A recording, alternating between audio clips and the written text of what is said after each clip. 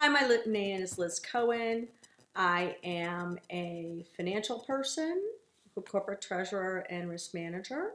I do capital markets. I've been in Short Hills since 2005 when my husband and I moved from Chicago. We were first introduced by um, actually the realtor who sold our house.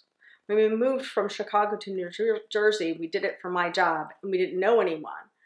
Um, so she introduced us to Argent as someone that was uh, a really good plumber and someone who really knew how to take care of old houses. We live in a 1927 Tudor with steam heat, and uh, they've done a marvelous job maintaining and improving our not only our plumbing but also our heating.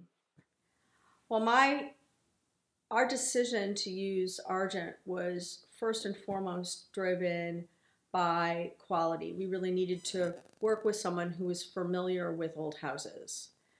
Uh, and then secondarily by price. We've had um, some limited experience with um, other plumbing contractors, but it's not been satisfactory. So Argent um, is just highly capable and competent, uh, very trustworthy and polite, and reasonably priced. Boy, my experience with Argent has been fabulous. They are communicative, communicative well organized, technically competent, and thoughtful.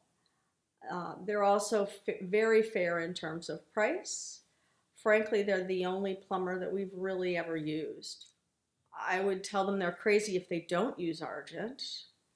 Um, the reasons, particularly if you you live in an older house, they're very familiar with um, how to how to maintain uh, steam heating systems.